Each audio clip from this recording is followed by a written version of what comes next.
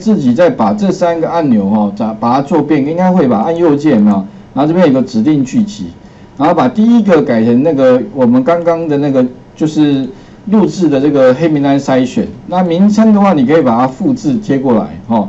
那这边是清除，那这边就是黑名单筛选 VBA 哦，OK。那记得名称这边不能出错哦，如果出错的话，那表示你原来的程式是有问题的。就像说有同学会出错哦。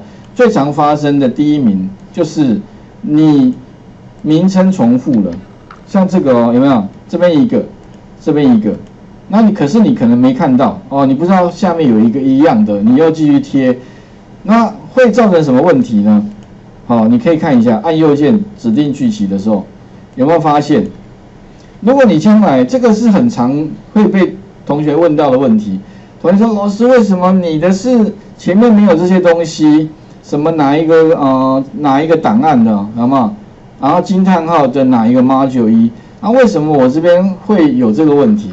其实主要原因哦，所以哦，将来如果你看到这样的状况哦，那表示说你的那个 sub 名称有重复的啊，哦，所以所以如果你假设重复，你就检查一下，OK？所以刚刚我是故意啊，这边再多一个一模一样的，所以你只要把这个把它删掉的话，那你再回到这边来看的时候。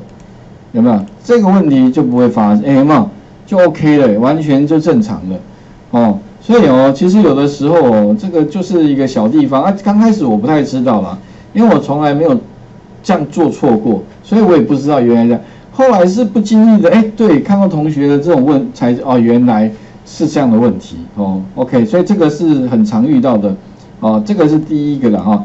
那第二个的话就是把它 run 一下。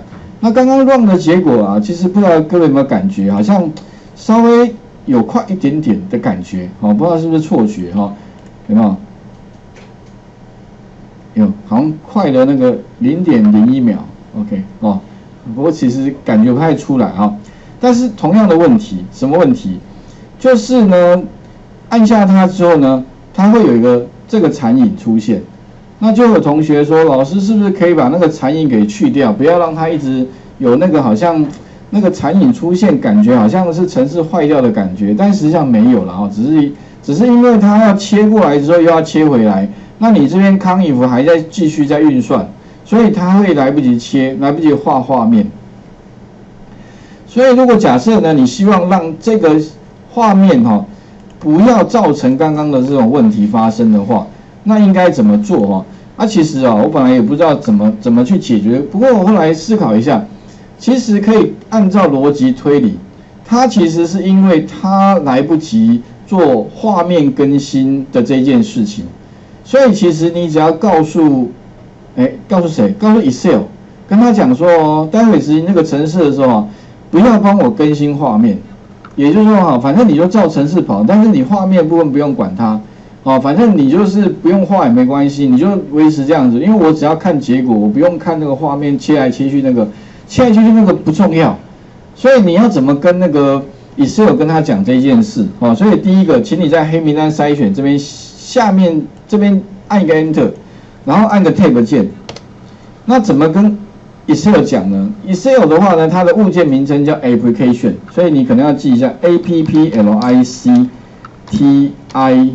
O N 哦，application，application 指的其实就是英文的意思，就应用程式啦。啊，其实在这边指的其实就 Excel 哈，或者是说呢，你说 VBA 有没有？像这边有个 Visual Basic，那 A 的话指的是什么？For 后面其实有，呃，VBA 是什么的简称呢？就 Visual Basic for Excel Application 啊。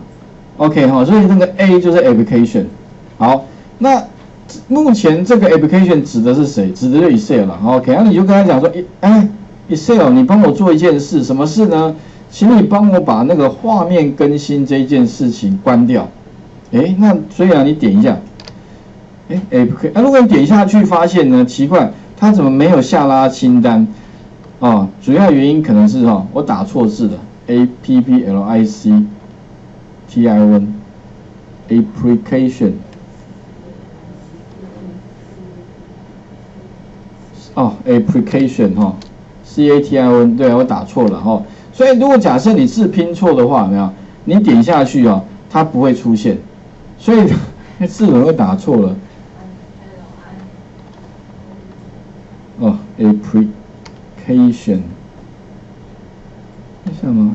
我怎么突然？哎，对了，哦，OK，少一个 i 了，哦，application，糟糕了，这个字常拼，突然间，呃，这是脑雾吗？好吧，还是中年都会这样吗？OK，好，application 哦，所以特别注意哦，如果假设了哈，你如果点下去它没有这个清单，那表示你拼错字了。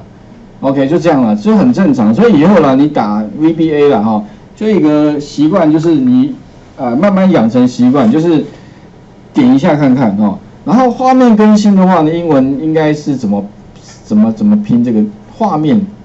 画面英文应该什么？画面应该是画面，可能我在猜是 screen 哈，所以你打一个 S，哎，你会发现哦，神奇的事情出现了。它出现有一个叫 screen，screen 就画面嘛，啊更新的话就什么，就 updating 哎，所以呢其实哦它只会有一个设定，那这个就是一只手拿的资料啊，其实就一般啊叫属性啊，属性的话其实你可以理解它就是个设定值哦，那这个设定值里面呢，它要放什么你就等号，你会发现哦，它就给你让你选，哎，请问一下你那个画面更新哦。你要做什么样的选择？它有个开关，有没有？所以哦，如果是你要开的话，那就是 true；关的话就 false 啦。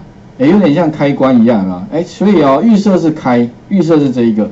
所以我要怎么样把它关掉？所以怎么关呢？很简单，把它 force 就可以了。OK，哦，这样就 OK 了。